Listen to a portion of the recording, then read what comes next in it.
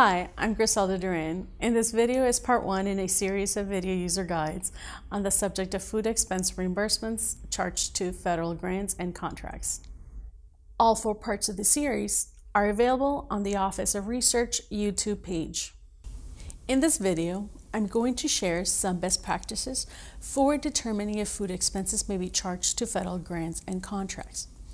The first thing to remember is that having food at a meeting where university business is being conducted is a legitimate expense, as long as you're in compliance with UC policy.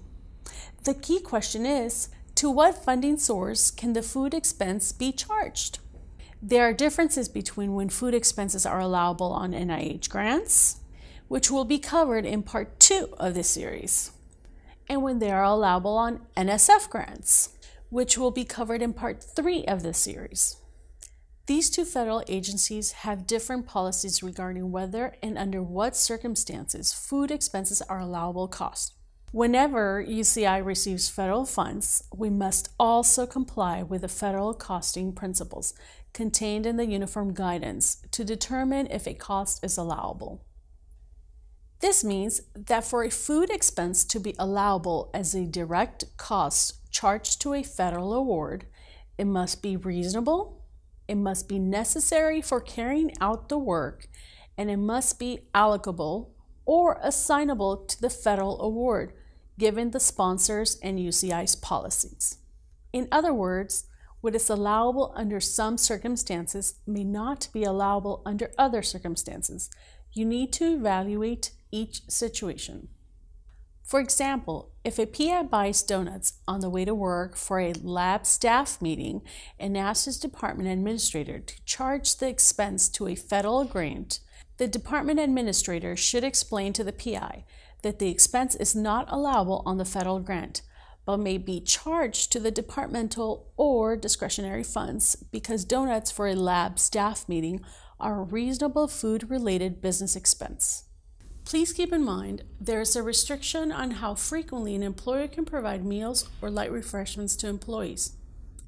University policy says that meals should be limited to no more than once a month or 12 times per year per group, and light refreshments should be limited to no more than twice per month per group.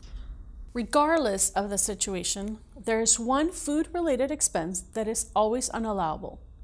Federal funds may not ever be spent on alcoholic beverages. Another important thing to remember is that federal sponsors always want grantees to follow the most restrictive policy, regardless of whether it is the policy of the federal sponsor or the grantee's institution. Understanding how certain keywords are used in the uniform guidance and in sponsor policies is important, so let's take a look at the keywords that will be used throughout this video series. Keywords for which the definition is very important are conferences and meetings. A conference is a meeting, retreat, seminar, symposium, workshop, or event whose primary purpose is the dissemination of technical information. The type of meetings referred to throughout this video series are meetings with a programmatic purpose.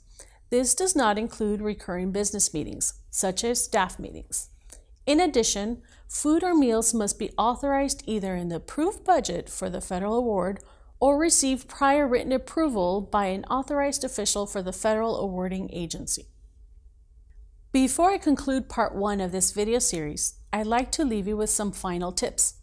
Don't pay for meal expenses of others when traveling on university business, as this is not allowed by the UC travel policy. If you hold a business meeting while traveling, remember that the business meeting expenses must be documented and submitted for approval on a Travel and Entertainment Management e-document or TEM in KFS.